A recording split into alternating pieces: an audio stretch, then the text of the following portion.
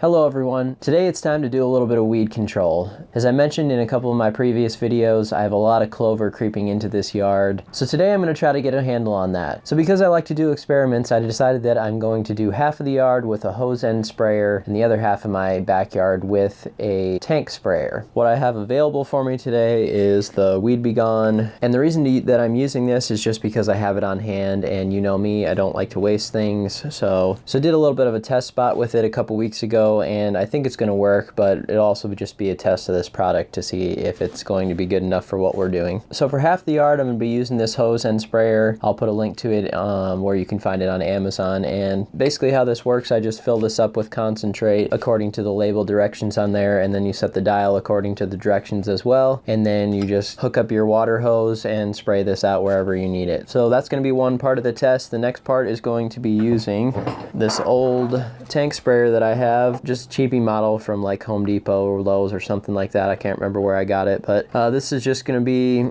filling this up. I'm probably not going to fill it all the way because I don't need uh, probably a gallon of this. I only need maybe half a gallon we'll do this time. And then we'll just uh, experiment with half the yard with this to see which one maybe works a little bit better and see if there's a difference at all. Also, I'm going to be using a little bit of shampoo mixed in with the chemical as a surfactant to try to get those uh, clover leaves to be a little bit more wet across the surface instead of little droplets on there. So that's what we're doing today. Time to get out in the yard and get to work.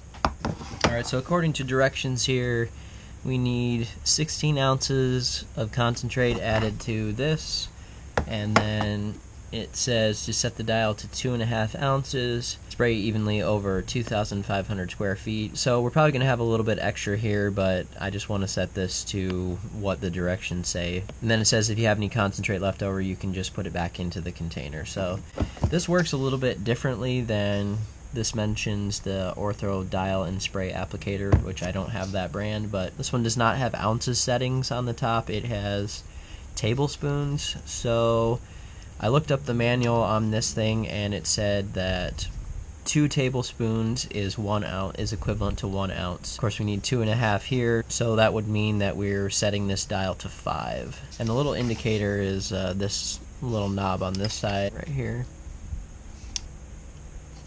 Okay, so now we're at five.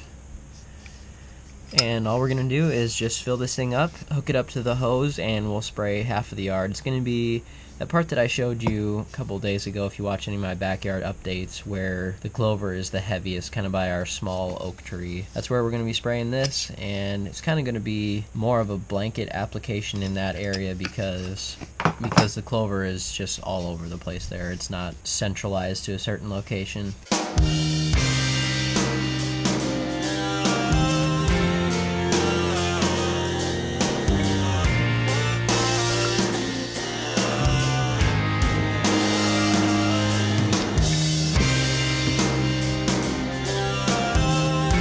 The tank sprayer, is going to be just a little bit different. You need two and a half ounces per gallon. And again, as I mentioned, I don't think I need a whole gallon of this mixed up. So I'm going to do a half a gallon, which would mean 1.25 ounces. Gave us this little thing here to measure. There is not a 1.25 option, but I can just go halfway in between the 1.5 and the 1. That should give us what we need.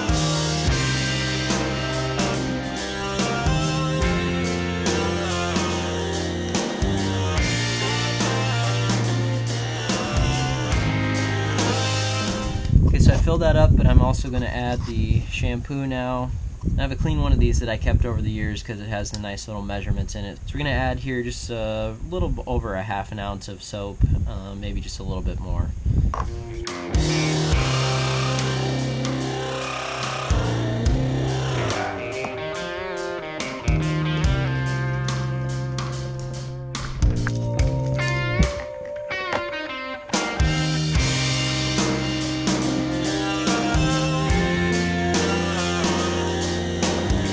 About an ounce uh, space in there, just a little less. So we're gonna add the shampoo to this one.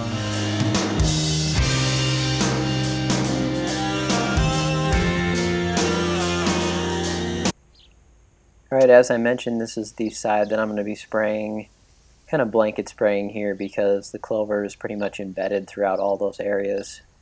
So what I'm trying to do is just get this spread as evenly as possible and make sure that I'm not spraying any of the areas uh, any heavier than any of the surrounding areas. I'm just trying to kind of blanket this area and get all this clover throughout. You can kind of see it down in there if you look closely. It's kind of everywhere. You see another spot coming up right here where you can get a good view of it.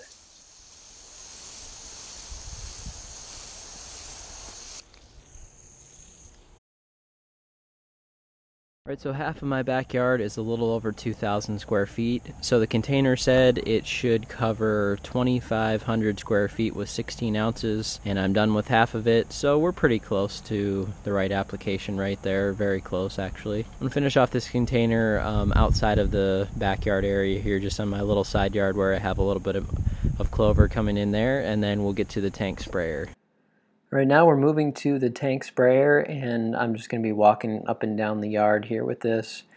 Again, I'm not blanket spraying because I have a lot less clover on this side of the yard. I'm just going to walk up and down kind of in a pattern here and make sure I'm staying in my lines and just continue to go up and down the yard and spray whatever I see as I go. And if you look at the trees, it is a little bit windy today, so I'm trying to kind of keep this down low to the ground, a little bit lower than maybe you'd want to, but I don't want this to drift anywhere else. I just want to hit this little bit of clover and kind of keep it down tight to the yard.